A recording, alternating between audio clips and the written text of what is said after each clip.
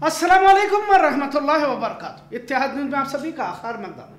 आज दो तस्वीरें देखने को मिली, वैसे देखा जाए तो किसान आंदोलन ने एक बार फिर न सिर्फ़ भारत की, बल्कि दुनिया की निगाहों को भी इस तरफ़ मोड़ने पर मजबूर कर दिया है। पहले से ही दिल्ली सरकार और मोदी हुकूमत ने किसानों को दिल्ली में दाखिल न होने के लिए जितनी मुमकिन कोशिश कर सकते थे, उससे ज़्यादा ही की है। और जैसे किसान शायद किसी और मुल्क फौज का हो और भारत पर हमला करने आ रहा हो, वैसे सड़कों पर कीले, लोहे की तारों को सड़कों पर बिछाया गया था। तो कुछ जगहों पर सीमेंट की दीवारों को भी खड़ा कर उन्हें अंदर दाखिल न हो इसका पूरा बंदोबस्त कर दिया गया था। कुछ दिन से आँसू गैस के गोले कैसे दागे जाए, इसकी भी मश्क पुलिस की जानब से की गई थी। लिहाजा यही तस्वीर आज शंभू बॉर्डर पर देखने को मिली। तकरीबन आज किसानों के दिल्ली चलो मार्च की वजह से सभी बॉर्डर सील कर दिए गए। देर रात तक मरकजी वजरात और किसान कैदों के बीच मशवरे तबादले ख्याल हुए, सरकार ने आंदोलन पर अड़े। किसानों को समझाने की हर मुमकिन कोशिश की, लेकिन पाँच घंटे से ज़्यादा चली मीटिंग भी बेनतीजा साबित हुई। इसके बाद किसान कायदों ने आर पार की जंग का ऐलान करते हुए कह दिया कि दिल्ली कुछ होकर ही रहेगा। गाजीपुर, सिंधु, शंभू, टिकरी समेत सभी बॉर्डर को छावनी में तब्दील कर दिया गया। वही पुलिस ने भी साफ़ कर दिया है कि किसानों के आड़ में एहतजाजियों ने, अगर कानून व्यवस्था में खलल डालने की कोशिश की तो उनके खिलाफ भी कड़ी कार्रवाई होगी। आज शाम होते होते किसानों ने अपना एहतजाज रोक लिया है, लेकिन कल फिर से शुरू होगा ऐसा बताया गया। मरकजी इकाई पीयूष गोयल, अर्जुन मुंडा ने हमेशा की तरह इसका इल्ज़ाम कांग्रेस पर थोपने की कोशिश की। वही किसान कायद राकेश सिंह टिकैत ने इसका इनकार करते हुए कहा कि आखिर हुकूमत एमएसपी पर किसानों की बात मान क्यों नहीं रही? और सवाल भी जायज़ बन जाता है कि सड़कों पर किले, दीवारें, आँसू गैस के गोले वगैरह दागने से एमएसपी पर किसानों की बात मान ली जाए तो मसला ही हल हो जाता है। अगर अन्नदाता कुछ मांग कर रहा है तो मोदी हुकूमत आखिर किस बात पर अड़ी हुई है? आखिर क्यों कर मोदी सरकार? किसानों और हुकूमत के दरमियान फासलों को बढ़ा रही है। लिहाजा आज लाठी चार्ज किसानों पर आँसू गैस के गोले दागे गए। तो किसानों ने भी ट्रैक्टर के ज़रिए इकदाम करने की कोशिश की। बैरिकेड्स उखाड़े गए। सीमेंट की दीवारों को रास्ते से हटाने की कोशिश भी की गई। हमने कल भी वीडियो में कहा था कि अगर किसान आंदोलन तशद में तब्दील हो जाता है तो मोदी सरकार की इमेज बड़ी मेहनत से हिंदू मुस्लिम के ज़रिए बनाई गई थी, उस पर पानी फेरा जा सकता है। राम मंदिर को लेकर जो नैरेटिव सेट किया जा रहा है अगर हिंदुत्व बरकरार रह सकता है तो मोदी राज में ही। तभी तो आज भी देश के मुख्तलिफ़ शहरों गलियों में भगवे परचम बैनर्स पोस्टर्स आज भी लगे हुए नज़र आते हैं। अब बेलगाम शहर का भी जायजा ले लो, कई जगह पर आपको देखने को मिलेगा ताकि चुनाव तक माहौल इसी तरह बरकरार रहे। खैर, गोदी मीडिया पूरी तरह से फिर एहतजाजियों को गाली देने में मसरूफ हो चुके हैं और किसी तरह फिर इस देश के अन्नदाता किसानों को खलनायक बनाते हुए खलिस्तानी तक बनाने की फिराक में नज़र आ रही है। यहाँ तक कर्नाटक से कांग्रेस ने भी अपने कारकुनों को किसान एहतजाज के लिए भेजने की बात मेन स्ट्रीम मीडिया में कहते हुए अर्जुन सिंह मुंडा ने इल्ज़ाम लगाया है। इतला के मुताबिक पिछले कई सालों से किसान अपनी बात पर अड़े हुए हैं और किसान जायज़ मांग बता रहे हैं। कहीं तो अडानी अंबानी के हाथों बंधुआ गुलाम बनाने की साजिश कही जा रही है। वही दूसरी तरफ़ भारत के वज़ीर आज़म मंदिर की अफ्ताह के लिए अबू धाबी पहुँचे हुए ताकि भारत के अक्सरियत हिंदुओं को पैगाम दे सके कि भले किसान पर गोलियाँ चलती रहे, लेकिन धर्म की हिफाजत करने के लिए मोदी ही काफ़ी है, क्योंकि अरब की सरजमीन पर हिंदू मंदिर की तामीर बहुत बड़ी तारीखी वारदात के तौर पर पेश किया जा वैसे देखा जाए तो अब अरब की सरजमीन पर तमाम खराफात हो ही रहे हैं। ऐसा नहीं कि मंदिर अभी तामीर किया गया तमाम खराफात हो ही रही हैं। शराब तक बेची जा रही है। ऐसा नहीं कि मंदिर अभी तामीर किया गया इससे पहले भी यूएई में मंदिर है और न सिर्फ़ मंदिर बल्कि ईसाइयों का चर्च भी है। पर मार्केटिंग में माहिर मोदी साहब इस मौके को भी वैसे भी कहाँ छोड़ने वाले हैं? लिहाजा यूएई दुनिया में सबसे तेज़ी से बढ़ने वाली मीशत है। दुबई दुनिया की सबसे अमीर म्यूनसिपालिटियाँ कहते हैं 180 से ज़्यादा धर्म मज़हब के लोग वहाँ मिलजुल कर रहते हैं। लिहाजा मोदी वहाँ से कुछ सबक सीख लेते हैं और यहाँ आते और भक्तों को बताते कि लेकिन भारत में बढ़ती हिंदू मुसलमानों की खाई वज़ीर मोदी सरकार की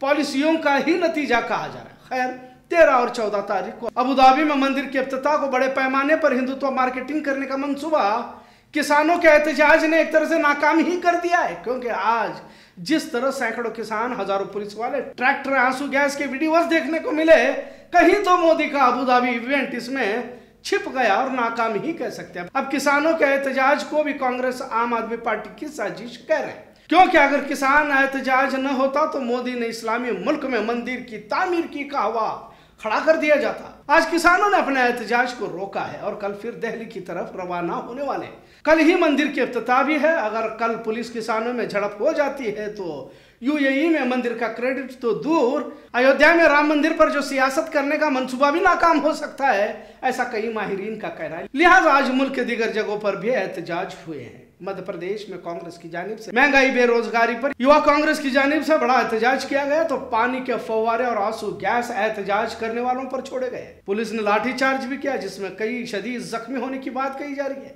कांग्रेस मरकजी कायद, श्रीनिवास बीवी और रियासती कांग्रेस सदर जीतू पटवारी भी शामिल थे जिन्हें पुलिस ने हिरासत में लिया है। बंगाल में भी हिंदू मुस्लिम करने की नियत से भाजपा कारकुनान एसपी दफ्तर को घेराव करने पहुँचे तो पुलिस ने भाजपा कारकुनान को दौड़ा दौड़ा कर पीटने के बाद सामने है जिसमें भाजपाई शदीद जख्मी हुए। लिहाजा भाजपा के शुभंदो अधिकारी ने इस लाठीचार्ज को गैर कानूनी कहा है। वाजह रहे कि पिछले कुछ अरसे में भाजपा कारकुनान को यहाँ पुलिस की जानब से निशाना बनाने की बारहा बात कही जाती रही है। बशीरहाट में पिछली मरतबा भी फसादात हुए तो भाजपा कारकुनान को निशानदेही कर तृणमूल कांग्रेस की जानब से कत्ल करने के भी इल्ज़ाम लगाए गए। आज भी पुलिस की जानब से बेरहमी से भाजपा कारकुनान को मारने की बात सामने आई है। मुल्क की बदलती तस्वीर को तमाम भारत के सभी जाति, धर्म, मज़हब के लोगों को वक्त से पहले ही जान लेना होगा, क्योंकि इकतदार के इस खेल में महज कुछ ही लोग फ़ायदा हासिल कर लेते हैं। धर्म के नाम पर जहर घोल कर कुछ नौजवानों के हाथों में झंडे परचम थमाकर इनके भविष्य को तबाह कर दिया जाता है। वैसे देखा जाए तो रोज़ाना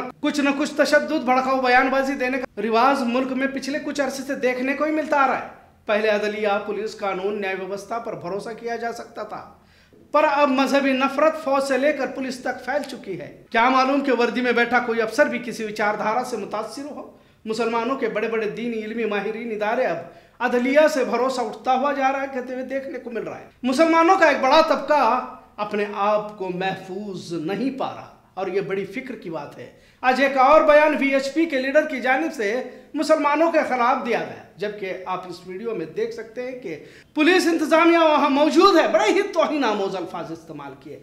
मक्का, मदीना तक हिंदू राष्ट्र की सरहदों को बढ़ाने की बात खुलेआम करता है, लेकिन कार्रवाई उन पर करने के बजाय सवाल उस पर उठाया जाता है जिस पर हमने खबर बनाई हो, खबर क्यों चलाया कहते हुए हमें थाने बुलाया जाता है। अगर भाजपा या फिर का परस्त तंजीम के अफराद बेलगाम शहर में किसी दूसरे शहर या रियासत के मामले को लेकर प्रोटेस्ट भी करते हैं तो सवाल उनसे नहीं पूछा जाता।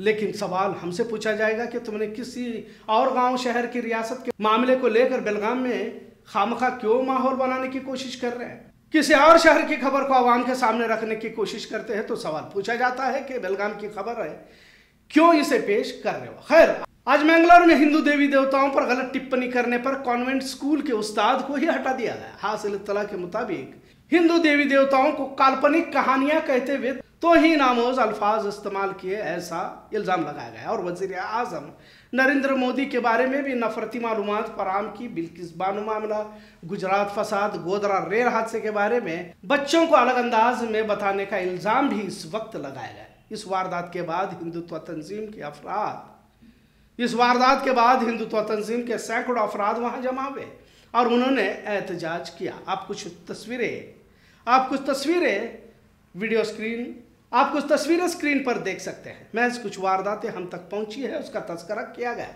और भी वाकिए हैं। आज इस मौजू पर बोलने की ज़रूरत इसलिए हो रही है कि लोकसभा चुनाव के मद्देनजर रोज़ाना मजहबी वारदात, नफरती वाक्य देखने को मिल रहे हैं। भारत को कभी किसानों का मुल्क कहा जाता था। जय जवान, जय किसान के नारे लगाते हुए देखने को मिल रहा था। बच्चों को उनका भविष्य, मुस्तकबिल रोशन करने के बजाय धर्म के नाम पर मज़हब परचम हाथ में देकर नफरती नारे लगाने की तालीम दी जा रही है। अन्नदाता दहली में दाखिल न हो इसके लिए सड़कों पर कीले ठोके जाते हैं। अब इन हालात में बेहतर भविष्य की क्या तो रख सकते हैं? लिहाजा मस्जिद मंदिर से ऊपर उठकर जब तक नहीं सोचेंगे, मुल्क का भला होना मुमकिन नज़र नहीं आ रहा। भले कुछ लोगों को खुशी हो रही होगी, क्योंकि किसानों के एहतजाज के बीच अबू धाबी में मंदिर की तामीर और मोदी के हाथों से इफ्तः यही सब कुछ अहम बन चुका है, इतना ज़रूर है। आज का मौजू कैसा लगा इस पर ज़रूर कमेंट करें। इतिहाद देखने के लिए शुक्रिया। अल्लाह हाफिज़।